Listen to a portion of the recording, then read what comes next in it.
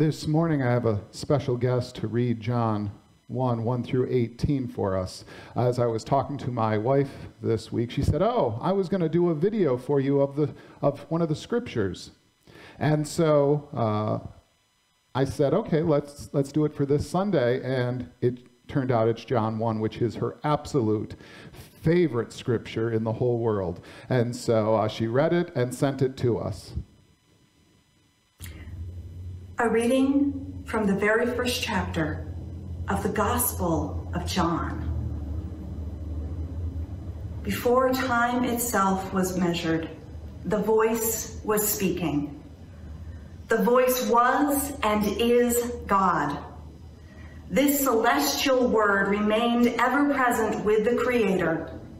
His speech shaped the entire cosmos immersed in the practice of creating. All things that exist were birthed in him. His breath filled all things with a living, breathing light. A light that thrives in the depths of darkness, blazes through murky bottoms. It cannot and will not be quenched a man named John, who was sent by God, was the first to clearly articulate the source of this light. This baptizer put in plain words the elusive mystery of the divine light so all might believe through him. Some wondered whether he might be the light, but John was not the light. He merely pointed to the light the true light, who shines upon the heart of everyone, was coming into the cosmos. He entered our world, a world he made, yet the world did not recognize him, even though he came to his own people. They refused to listen and receive him. But for all who did receive and trust in him, he gave them the right to be reborn as children of God he bestowed this birthright not by human power, but by the initiative by God's will. The voice took on flesh and became human and chose to live alongside us. We have seen him enveloped in undeniable splendor, the one true Son of the Father, evidenced in the perfect balance of grace and truth. John the Baptist testified about him and shouted, This is the one I've been telling you is coming. He is much greater than I am because he existed long before me. Through this man, we all receive gifts of grace beyond our imagination. You see, Moses gave us rules to live by, but Jesus, the anointed, offered us gifts of grace and truth. God, unseen until now, is revealed in the voice, God's only Son, straight from the Father's heart. This is the word of God for the people of God. Thanks be to God.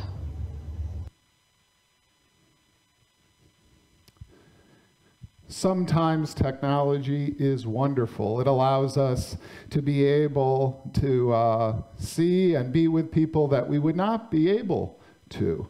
and so it was great that uh, Deacon Reverend Julie Wilson, my wife, was able to uh, share that scripture with us this morning. What is peace?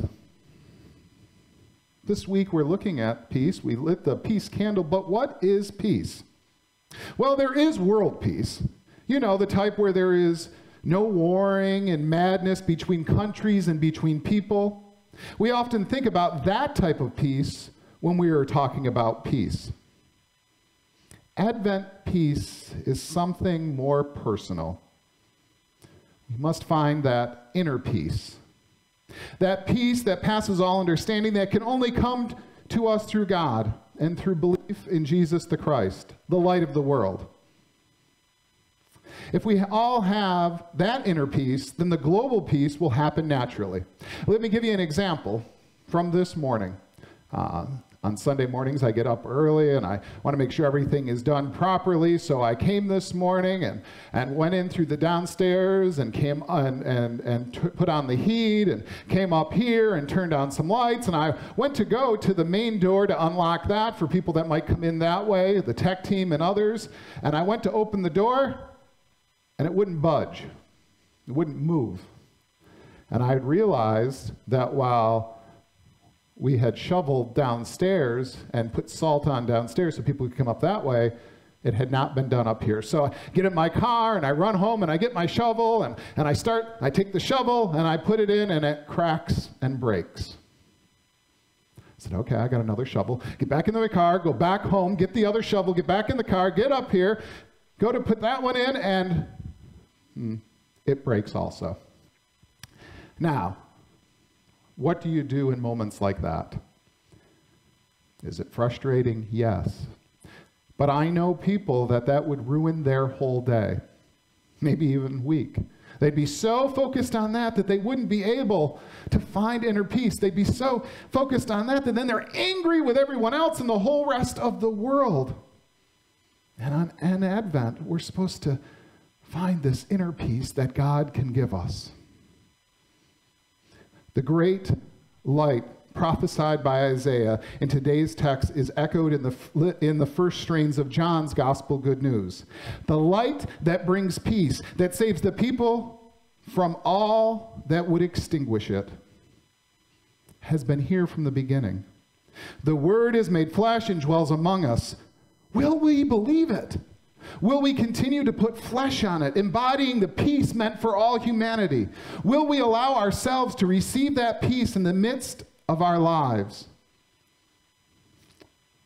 So that peace that was meant to be received starts with us and then illuminates to those around us and eventually to the world the Isaiah reading for this morning. For a child has been born for us, a son given to us, authority rests upon his shoulders, and he is named Wonderful Counselor, Mighty God, Everlasting Father, Prince of Peace. His authority shall grow continually, and there shall be endless peace for the throne of David and his kingdom. He will establish and uphold it with justice and with righteousness from this time onward and forevermore. The zeal of the Lord of hosts will do this. On this week of peace, we encounter a prophecy from Isaiah that lays out the qualities of a just and righteous ruler. The authority that rests upon the shoulders of good rulers is dependent upon the endless and substantive peace that can, be, can provide for their people, where the weak are protected from the strong, who may perpetuate and perpetrate violence against them. There is much debate about what child Isaiah is describing. But the description is in keeping with other instances in Hebrew text that describe a peace that is not a false one in which some are muzzled in order to keep the peace. This is the type of leader we want as well. It is talking about a kingdom where we all are treated fairly and where justice is for all. And then we continue on to John. In the beginning was the Word, and the Word was with God, and the Word was God. And he was in the beginning with God. All things came into being through him, and without him, not one thing came into being. What has come into being in him was life, and the life was the light of all people. The light shines in the darkness, and the darkness did not and shall not overcome it. Of course, there is no doubt in the gospel writer John's mind that Jesus is the fulfillment of the child come to bring peace, the child foretold of in Isaiah. Jesus, the Word, was in the beginning with God and has been present throughout human history. John's gospel is written later than all the rest and is meant to inspire people of faith and to faith.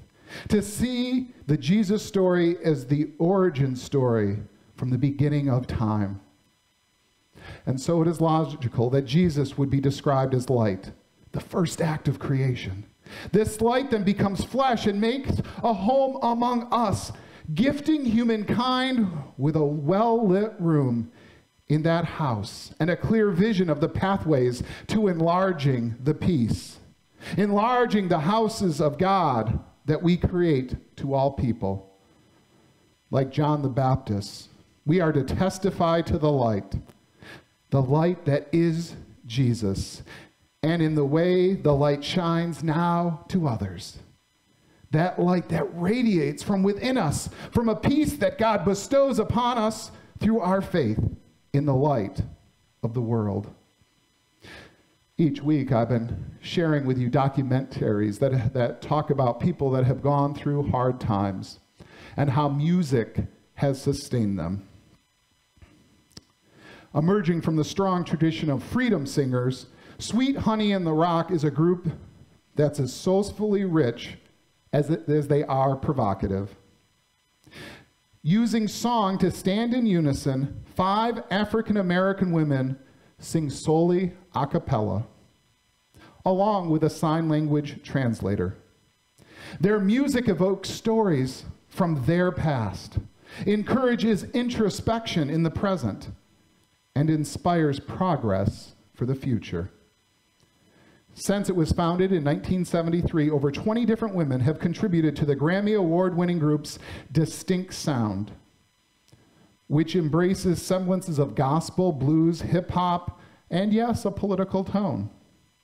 The film features a trove of concert and rehearsal footage as it follows the group on their 30th anniversary tour.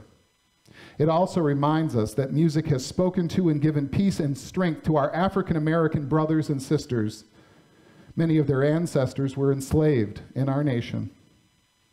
Even after slavery ended, they have experienced and continue to experience discrimination and racism. Faith in the light of God has sustained their community. Rosa Parks had a peace that passed all understanding as she sat on that bus, not worried about what was going to happen to her. Martin Luther King Jr. used music often in speeches to convey the sense of God's peace in the midst of the strife his community was experiencing. Just this last week, when a historical African American church had its signs removed and their church and their, from their church grounds and then lit on fire in the streets, we heard their leaders showing resilience and inner peace while confronting the hurtful actions perpetuated against them. When we have true peace, when others mean to cause us harm or rile us up, we can have quiet, resilient strength that comes from true inner peace. It allows us to act in a way that does not respond in hatred or returning harm for harm, but by standing up against the harm in ways that reflect the Christ child, the light of the world. Here is a song from the full length concert of Sweet Honey in the Rock, where they sing a song about peace, which we all long for, regardless of the color of our skin or the other things that fallen humanity has used to turn us into warring parties. Uh, you know, when we uh, came into town, I noticed that there were children jumping up and down on the trampoline, and I saw people holding hands and walking the streets and just experiencing this beautiful, beautiful place. And I realized, you know, everywhere we go in the world, most people want the same thing. Is it pay, peace, love, peace. Standing for freedom, freedom till he comes. Standing for freedom, freedom till he comes. Standing for freedom, freedom till he comes. Standing for freedom, freedom till he comes. Standing for freedom, freedom till he comes. Standing for freedom, freedom till he comes. Standing for freedom, freedom till he comes. Standing for freedom, freedom till he comes. Standing for freedom, freedom till he comes. Standing for freedom, freedom till he comes. Standing for freedom, freedom till he comes. Standing for freedom, freedom till he comes. Standing for freedom, freedom till he comes. Come stand up for freedom. Till come stand up for freedom. Till come stand up for freedom. Till come stand up for freedom. Earth and stand up for freedom. Till come stand up for freedom. Word I speak, restore peace again. Till come stand up for freedom. Peace on earth, let the moment be now. When every man and woman understands their power, let.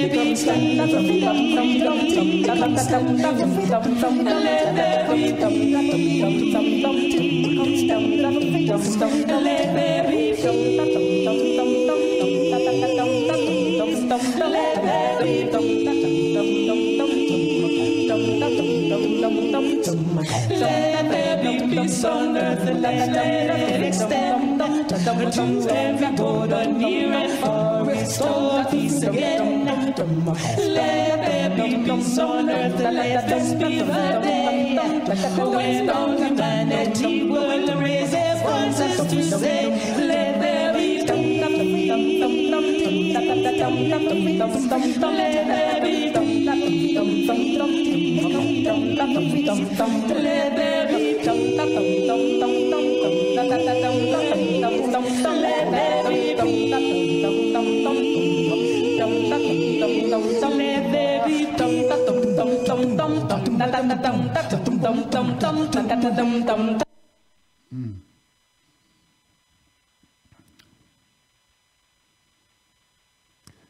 Our African American brothers and sisters had faith in God's light breaking forth in the midst of enslavement and continue to have faith when confronted with systemic racism. How can we not have faith when we are confronted with injustice and problems in our own lives? If they could turn to music and faith in God to sustain them and give them peace, shouldn't we be able to in the midst of what often pales in comparison like two broken shovels? Further, we need to be part of helping the light shine in the darkness by helping others in need, by not allowing people to be treated unfairly, coming to the aid of those who had their peace stripped from them. Remember, the Word is made flesh and dwells among us. The child came into this world, and Christ the King is on the heavenly throne this day. The reign is now. Will we believe it? Will we continue to put flesh on it and by embodying the peace meant for all humanity? Do you believe in the light so much that you will not act in fear that often comes from the darkness? You see, that darkness comes when we fear, and often it means that fear causes us to lash out at people that do not look or act like us or believe the same things as us. We don't trust in God. We don't have illuminating peace within us. We decide we must retaliate, and so we lash out. We fail to see when others are also in pain, are also hurting. We are afraid to take action or unwilling to take action that might set things right because we're afraid that might mean less for us or afraid it might negatively affect us. Yet, that is not the way the light of God works. We must allow the light of Christ to glow within us such that we have peace that allows us to enter into the darkness and to not be afraid. Advent is about us trying to live out the kingdom that has not yet fully come into this world. That we are willing to reach out into the darkness with inner peace to help create a world that looks like the one Jesus came to bring forth. That we allow God to use us to shine the light into the world to create justice and allow people to experience God's peace. But first, you and I, we must all believe in the light, the light that came for all people. And you must allow that light to illuminate your soul. You must trust that your faith in the light means no matter what happens, you will always be in that light because of your faith. that no one can take that light from you. And then, and then with the faith that God will not extinguish that light, you use to walk into the darkness that is all around us. We boldly go into places that would formerly scare us. We no longer sit in fear, paralyzed by the darkness around us, but instead go out sharing God's light with the world. Jesus is coming. The light of the world is shining. Will you let it illuminate your life, your soul, this very day? Let us pray. Holy One, in the midst of much darkness that has broken forth into this world, let us double down on our faith in you, trusting in you. Lord, lend us that peace that passes all understanding that can only come through faith in Jesus Christ, so that we may be light bearers to the world, that we may not sit alone in darkness, afraid, paralyzed by fear. Lord, give us that peace so that we may bound forth through the doors of our homes and out into the world, bearing that light to a world that needs it more than ever, Lord. Kindle the light in each of us. And then, Lord, be with us as we go out into the world to share that light. We pray this in your holy and precious name. Amen. This morning, the sermon actually is ending with O come, O come, Emmanuel. This hymn, originally written in Latin, takes us back over 1,200 years to monastic life in the 8th or 9th century. Seven days before Christmas Eve, monasteries would sing the O antiphons in, in anticipation of Christmas Eve. When the eighth antiphon, O Virgo Virginum, O Virgin of Virgins, would be sung before and after Mary's canticle, the Magnificat. The Latin metrical form of the hymn was composed as early as the 12th century. John Mason Neale, the now famous uh, uh, architect of the Oxford movement, discovered the Latin hymn in the appendix of an early 18th century manuscript. Neale, a translator of early Greek and Latin hymns, included it in his influential, influential collection, Medieval Hymns and Sequences, in 1851. British hymnologist J.R. Watson provided a context for the antiphons included on the second page after the hymn in our United Methodist hymnal. The antiphons, sometimes called the O antiphons or the great O's, were de designated to concentrate the mind on the coming Christmas, enriching the meaning of the incarnation with a complex series of references from the Old and New Testament. You'll see up on the screen them listed out in their Latin. Put together, the first letter of the second word of each antiphon spells sar cor. If read backwards, the letters form a two word acrostic ero cras, meaning, I will be present tomorrow. I know, you thought it was just albums, rock albums, where you could play them backwards and there was a message in there. Oh, no, no, no. We even have it in the midst of the life of the church. All of the Latin attributions to the coming Messiah are from the Old Testament except Emmanuel, which is found both in Isaiah 7:14 and Matthew 1:23. Matthew quotes Isaiah virtually verbatim Behold, a virgin shall conceive and bear a son, and shall call his name Emmanuel. The O come, the O Emmanuel antiphon, which traditionally sung on the night before Christmas, Eve, revealing the meaning of the liturgical riddle through the completion of the acrostic. So, as our final act of preparation for Christmas, I'm going to share the verbal antiphons and then we all sing the corresponding verses, which will end with the most known verse containing Emmanuel.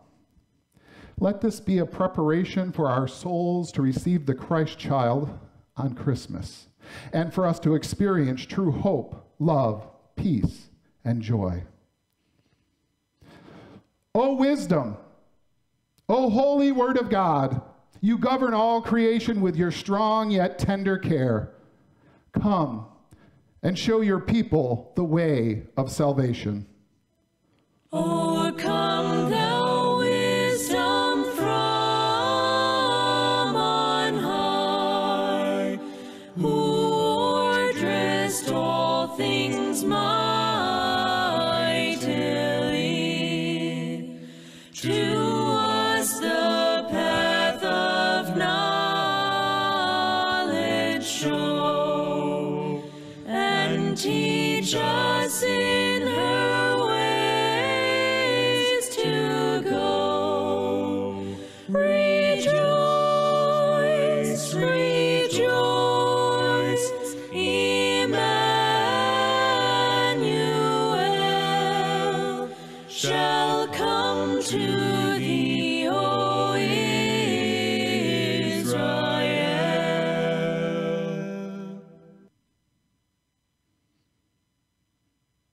Sacred Lord of ancient Israel, who showed yourself to Moses in the burning bush, who gave him the holy law on Sinai mountain, come, stretch out your mighty hand to set us free. Come,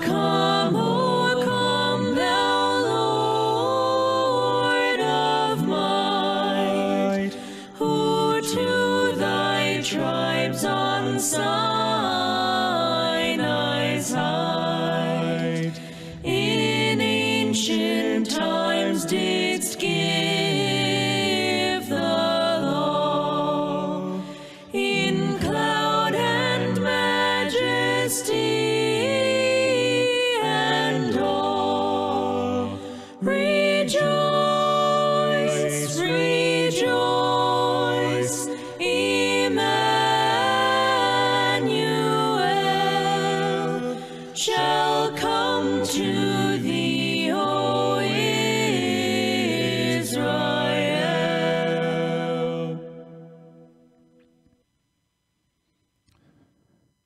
flower of Jesse's stem, you have been raised up as a sign for all peoples. Kings stand silent in your presence.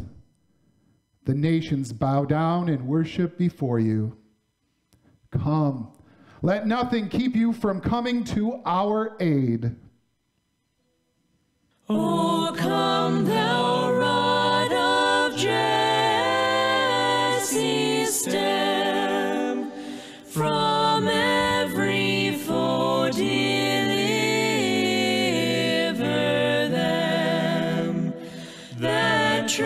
thy mighty power to save, and give them victory o'er the grave. Rejoice, rejoice,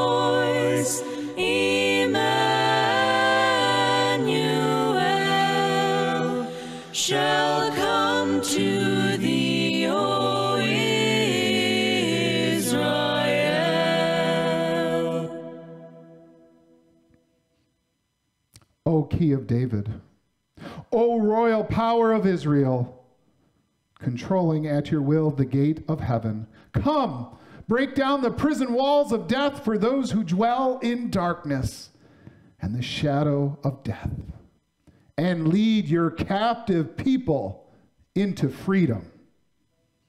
O come, thou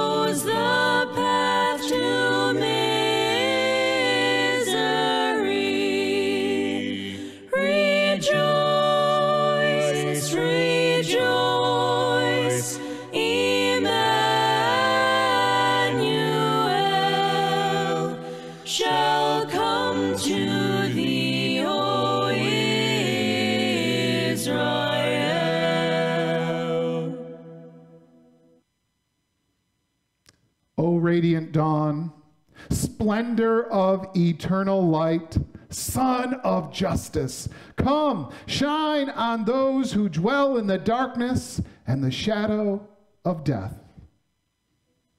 O come, thou day spring from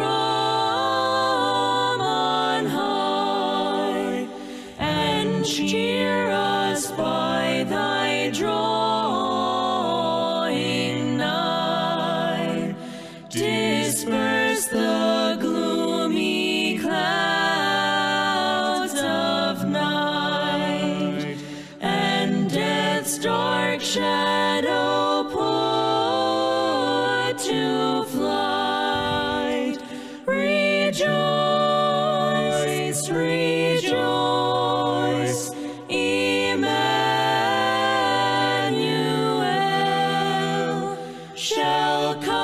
to thee, O Israel.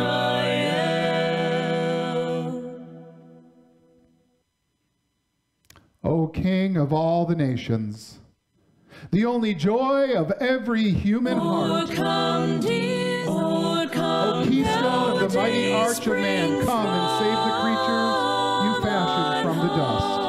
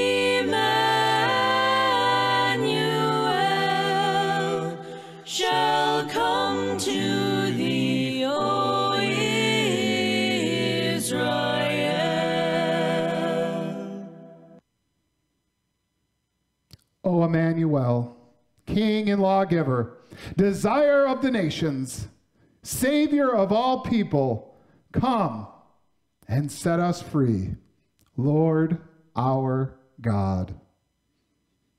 O come, O come, Emmanuel,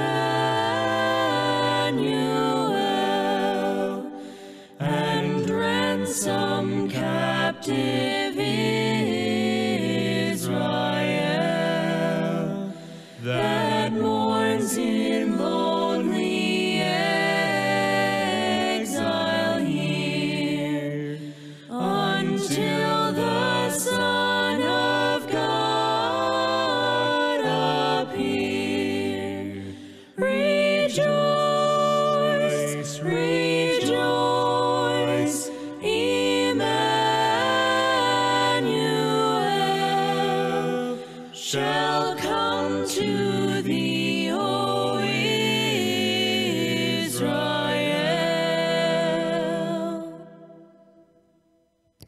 Come, oh come, Emmanuel. Announcements. Uh, for the announcements, I'm just going to focus on Christmas Eve. Uh, Christmas Eve services. We do not know what the weather will be. And so you will need to wait to see uh, an email that comes out with instructions about how we are going to be worshiping at the Promised Land. Uh, snow is covered there, so uh, we don't want to drive on the snow. If the snow all melts, well, then it might be too mushy to drive upon up where we would normally go. We might need to stay uh, below in our vehicles, uh, and some people can walk up to the pavilion. We'll figure that all out.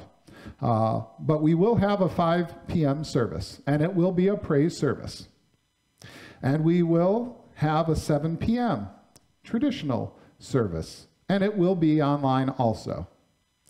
And then uh, there is going to be an online traditional service with a love feast at 9 p.m. And that will be online only. And then there will be a communion at 10 p.m. here at church that will be very simple. Uh, there will not be much tech involved in it. Uh, you're going to come in to a sanctuary that's lit with candles. We'll have a little song, a little prayer. You'll receive elements and then go on your way with the light that you will be carrying. The sanctuary will not be well lit. You'll carry a candle with you. It'll be a battery operated one, so you don't know where you need to worry about wax. It is also limited in capacity. If you wish to be here for that 10 o'clock service, let me know. Call me, email me, text me, or call into the office. I'll get the message, uh, and I'll be the one that knows who is coming and. Uh, and we'll reach out to you to let you know that you are part of those that are able to come to that service. I know that some people really need that. Uh, part of this was inspired by Karen Wyville, who said the sanctuary looks so beautiful. It's a shame that no one's in the sanctuary to see it. And so I think I have come up with a way where we're able to do this safely and within any of the rules and regulations in the state of Maryland. Uh, but it will be a very small number that will be able to come to that. Uh, be looking in uh, for the blog and for email for more details. Our final song, Go Tell It on the Mountain. Our carol of resistance. Each week we've been having Christmas carols and telling the story of resistance that they have. And it's part of the Christmas songs that were created by people who endured brutal hardship as the result of African colonization and North American slavery. But though people of African descent were ripped from much of their cultural heritage, they maintain their heritage of group song, punctuated by West African rhythms and vocal stylings. Of course, the safest thing for oppressed peoples to sing about was religious beliefs that, first forced upon them by their oppressors later gave them hope in the midst of their suffering. Go Tell It on the Mountain is probably the best known African American Christmas song and the words seeker and watchman are, are thought by some to have been code words for those seeking freedom on the Underground Railroad. It was made popular by the Fisk Jubilee Singers in the 19th century as these college students, themselves freed slaves, traveled the country to raise money and awareness. They were turned away from hotels, railway waiting rooms, and even some churches because of their color as we sing, let us honor them. Honor all who have endured slavery and the continued systemic racism caused by slavery. Let us go tell it on the mountain, over the hills and everywhere. Go tell it on the mountain that Jesus Christ is born. Wherever you are, as you are able, please stand to sing this closing hymn.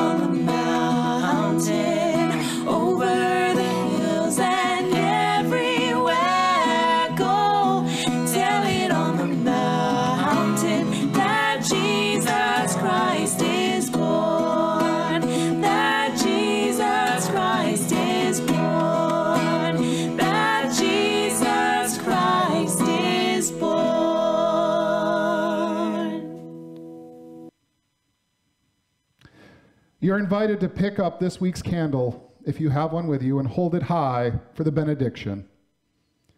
In this season of waiting, know this we wait for justice, but we do not wait to work for change. We wait for restored health, but we do not wait to work to heal. We wait for wholeness, but we do not wait to work at binding brokenness. We wait for peace, but we do not wait to work to eliminate hatred.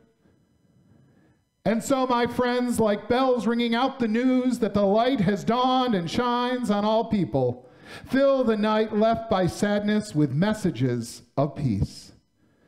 Go into your lives humming the tunes that keep that peace alive in you and that spur you in your work of justice and reconciliation. Raise your voices and repeat after me.